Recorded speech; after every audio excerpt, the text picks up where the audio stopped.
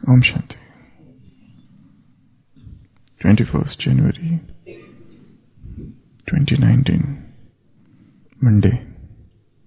Today's blessing is May you be fearless and become victorious and attract everyone by imbibing the authority of truth.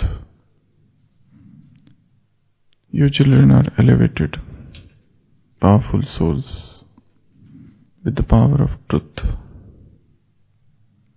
You have received true knowledge, the true Father, true attainment, true remembrance, true virtues, and true powers. When you have the intoxication of such great authority, this authority of truth will continue to attract every soul. Even in the land of falsehood, Jhutkhand, those who have the power of truth are victorious. The attainment of truth is happiness and fearlessness. Those who speak the truth are fearless. They can never have any fear. Is saying to become fearless and to attain happiness by speaking the truth. You are most elevated and you are most powerful because you have the power of truth. And when you have such intoxication, this authority of truth will attract every soul. Even in this land, which is full of falsehood, those who have the power of truth are victorious. Mahatma Gandhi has said somewhere, I don't know whether God is truth or not, but I am sure that truth is God. So he said, God, truth itself is God. And to follow the truth is not a very small thing. Baba says, You have got the highest of the knowledge. You have got true Father. You have got true Father. You have got true attendants. You have got true remembrance. You have got true gyan, knowledge. You have got true virtues and you have got true powers. All these six things you have got. And that's why you have the power of truth. You have the authority of truth. You know the true Father. Nobody in the world is aware of who is God. The greatest confusion that was ever in the whole world is always about God. Thousands and thousands of scriptures are written. They say there are about 4,300 religions in the world. According to one statistics, there are 4,300 religions in the world. There must be many more than that. There are thousands and thousands of philosophies. If we make a chart of religion, it's very, very big. Eastern, Western. In Eastern, Vedic, non-Vedic.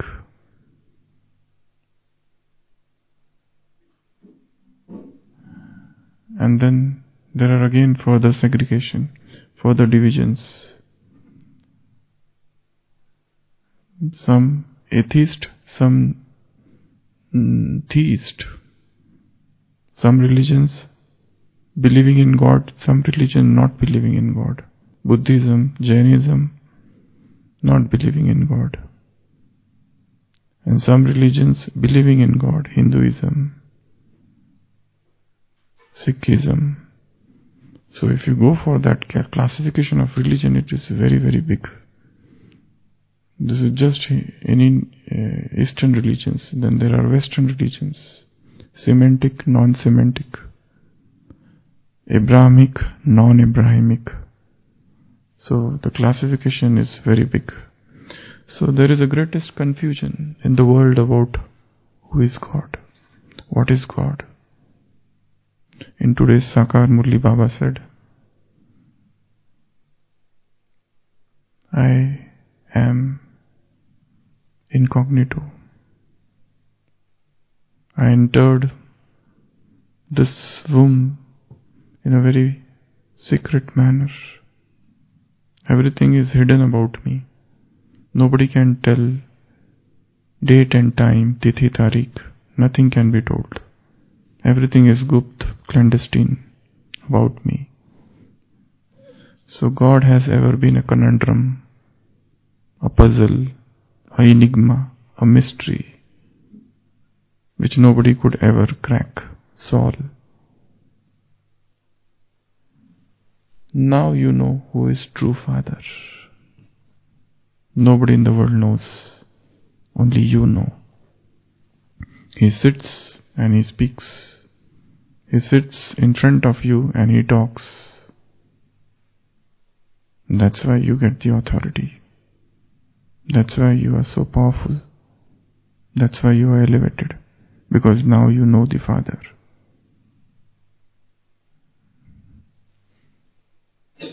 True attainments.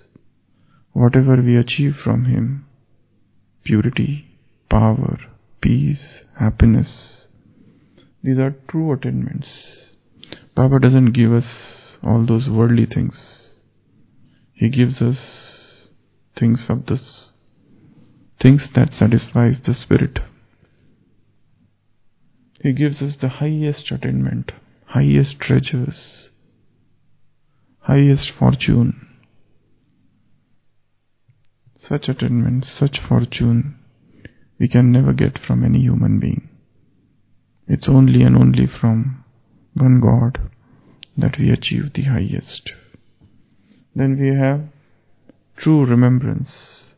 In the world also people remember God, but their remembrance do not reach Him because they do not know Him. Now, this is something like that. If somebody is staying in, for example, Sri Lanka, and one man is sending money to another man who is in Sri Lanka. Now the man in Sri Lanka is not aware of who is sending the money. Okay, suppose I am sitting in here and I am sending every month a specific amount of money to a person who is in Sri Lanka. Now he doesn't know me. And then he thinks, let me imagine, and he thinks, or he starts worshipping a cockroach, okay, thinking that it is Probably he is sending me. Now he doesn't know me, and now it is his faith. I'm not saying his faith is wrong. He can create anything. So he has created a cockroach and he worships that cockroach that you send me every day this. And he remembers that cockroach all the time. So will his remembrance reach me? Probably not in the similar manner. It's God who gives everything. But people do not know who is giving them. So they start worshipping stones, animals, snakes, cows, elements, deities, human beings, gurus, and everything. And they say that our worship reaches Him. but nothing can reach him. So we are the one who know the art of remembrance. the true art of remembrance. Our remembrance is truth. In today's Murli Baba said, Who told you to use the word yoga? Who told you? Use the word remembrance, yad. Simply remember me, that's it. In that Laukik also, they remember their mother and father. It is so easy. It's not very difficult to remember mother and father. By using the word yoga, you are complicating the things. Don't use the word yoga. Simply use the word remembrance. And this is remembrance also is a yatra, it's a pilgrimage. Is the most beautiful word that has ever been used for meditation in world history.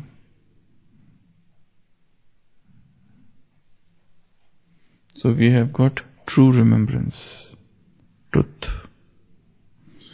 and then true gyan.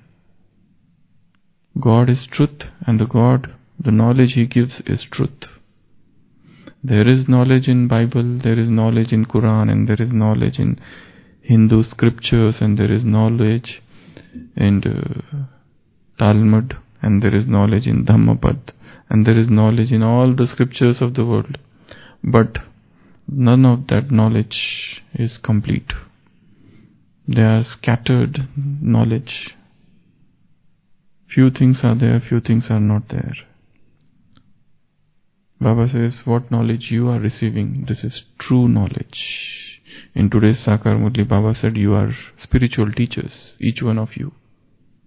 Each one of you is a spiritual teacher. So you should understand this knowledge and explain it to others. You should have this knowledge in your intellect and explain it to others.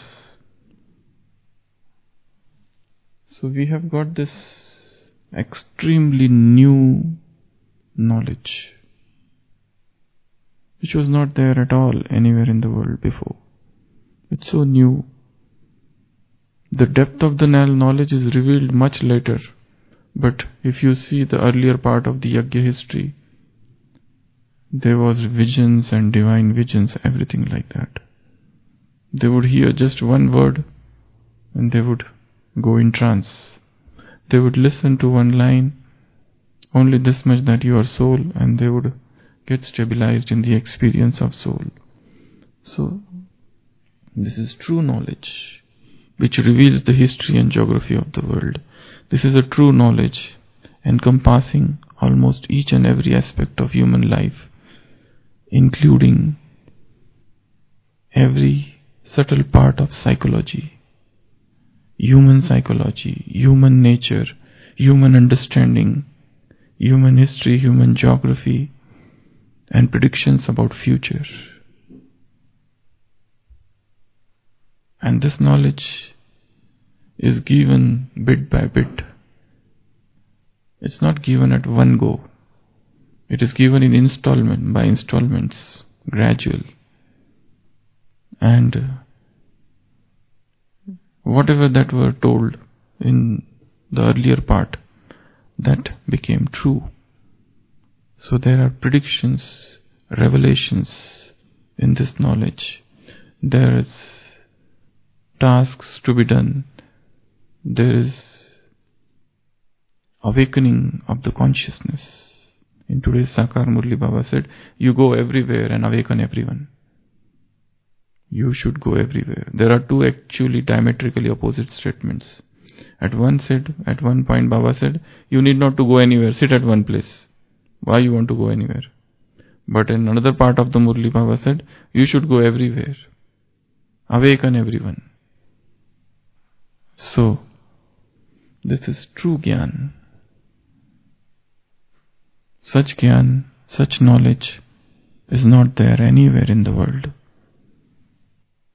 Though we had heard about spirituality and we had heard about virtues and we had heard about morality and religions and there were scriptures already in the world, but in spite of all the scriptures, in spite of all the religions, in spite of all the written material, still the world was falling down, reaching the lowest point, the abysmal depth of wickedness, immorality, corruption, sins, materialism, in spite of all that knowledge. That's why a new knowledge was needed. Extremely newfangled knowledge. So this knowledge is very new knowledge. And this is a true knowledge. The next, true virtues. We knew virtues. It's not that for the first time somebody is hearing about brahmacharya or somebody is hearing about truth or somebody is hearing about discipline or somebody is hearing about the different words Baba has used. But Baba has included virtue as a subject in this university. That you have to imbibe the virtues. And it's for everyone, not only few selected group. In the path of sannyasa, they have their two circles, internal circle and external circle. Internal circle, they teach some different things, and external circle, worldly people, they teach different things. Because they know that it is not possible for worldly men, women, to imbibe, understand, inculcate, understand those deeper things. But here, the same knowledge is for everyone.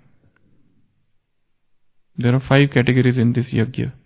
If you draw a tree, teachers, kumaris, and mothers. And on another side, Kumars and other Kumars. These are five groups. But all Gyan is same for everyone. It's not that for Kumar this is there and for those other Kumars, half Kumars this is there. And for mother this is there and for teacher this is there. It's the same for everyone. It is same for everyone. So true virtues and then true powers in the path of bhakti they talk about siddhis and their powers are very different. Sometimes they walk, anima, garima, mahima. These are the different powers. Ashtasiddhi, eight powers they talk. Something will come in your hand and something you will dematerialize. Sanjeevani Vidya, somebody is dead and you make him alive. And you walk on the water or you travel through air, or clairvoyance and clairaudience. So all these things are there in the path of bhakti. Baba doesn't give those powers. Because those siddhis were the cause of fall. All the sadhus, all the yogis, all the sannyasis, all the tapasvis, all the great souls who attained those powers, they got filled with ego that I can do miracles. And through the hand that vibhuti is coming out. And through the picture and photos you will feel those things are coming out. And then he will materialize some ring and give to you.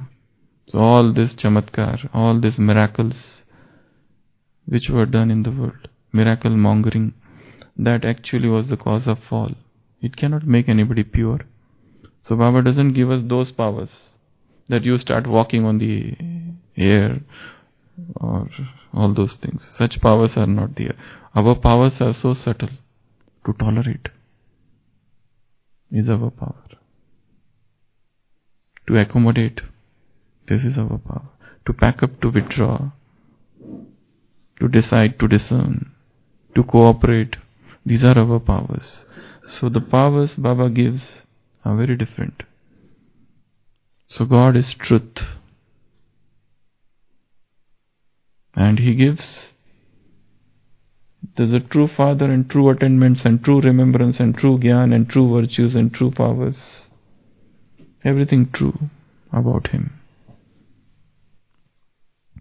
And Baba is saying, those who speak truth, what are they? They are fearless. Why? Because though if you have to speak truth, you don't have to remember anything. If you have to speak untruth, you have to revise it many times because you forget. You know, it's very difficult to speak untruth because you have to revise it.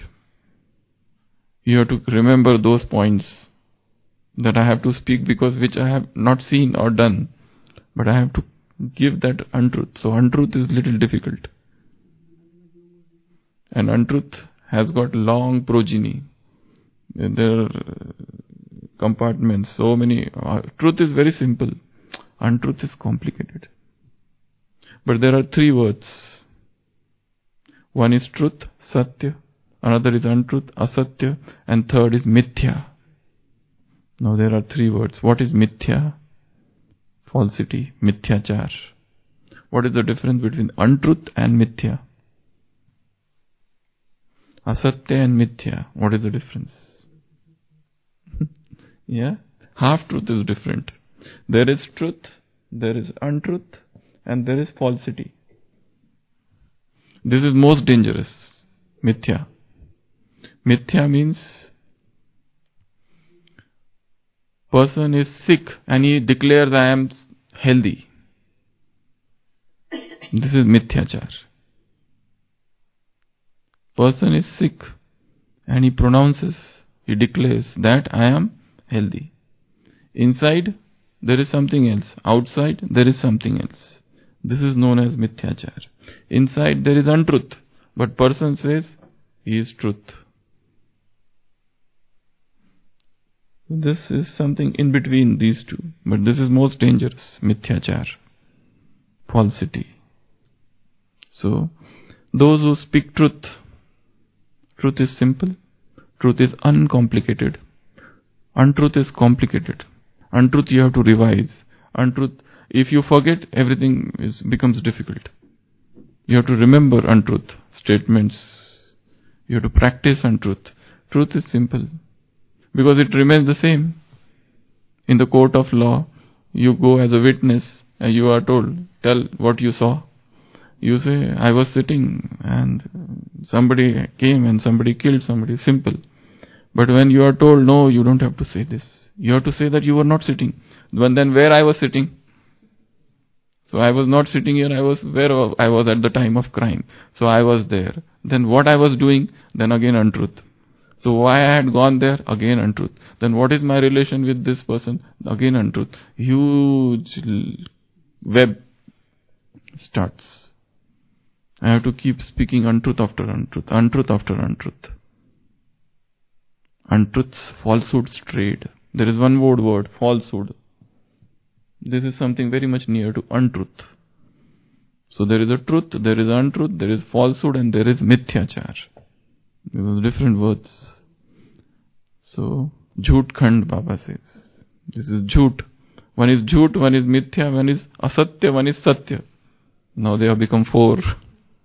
Things are becoming complicated. But they have got all some relation with each other. So, if you speak truth, what are the benefits? Fearless, happiness. If you truth, simple, hmm, worldliness. Then, if you speak truth, then no fear. You are so fearless, and your your statement remains same. Uh, one philosopher, Oscar Wilde, has said somewhere that uh, lies, big lies, they don't shock men. We are never shocked by listening to big lies. We are accustomed to them. But slightest truth shocks us. Slightest truth makes us uncomfortable. But big, big lies, we are very comfortable with lies. We are very comfortable. We enjoy those. We never get shocked. Like this it has happened. Only this much. But truths, they are bitter. They hurt. So, mm, unpalatable. Truths are unpalatable. While lies we accept. So, God is truth. Satyavratam Trisatyam Satyasya Yonim Nihitam Cha Satya. He is the ultimate truth. He comes to establish the truth. And nothing surpasses him in truth. He is the full truth, the complete truth, the highest truth. In the court of law, they say, I will speak the truth, the whole truth, and the complete truth, and nothing but the truth. there is a joke once a dentist, dentist, tooth doctor, he was called to the court of law and he was told to take the oath. He said, I will tell the truth, the complete truth, the final truth and nothing but the truth. Baba is telling us to become true, truthful. Truth is very much connected to honesty. Okay. So truth will make you free. I am the truth of life, God says. So those who speak the truth are fearless and they can never have any fear. Even in the land of falsehood, those who have the power of truth are victorious and you will be victorious. The attainment of truth is happiness and fearlessness. Om Shanti.